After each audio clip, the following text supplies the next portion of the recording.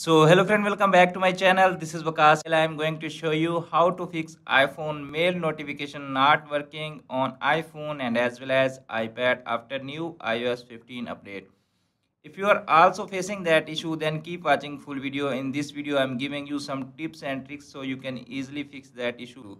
So without wasting any time let's start the video. Firstly open your iPhone setting app and search here mail option you can see appears on screen mail option just tap on mail option. After tapping the mail option you can see appears on screen notification option just tap on notification option.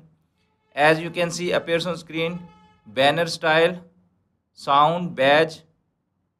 Just turn on allow notification and then select all these three option then turn on badge option.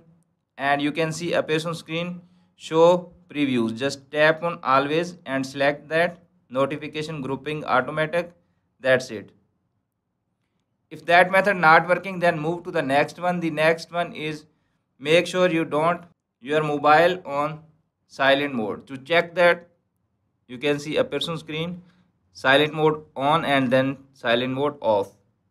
If that method is not working then move to the next one. The next one is turn off your iphone and then turn it on after 5 to 10 seconds. To do that open your iphone setting tap on general now scroll down and tap on shutdown and restart your mobile after 5 to 10 seconds and easily fix that issue.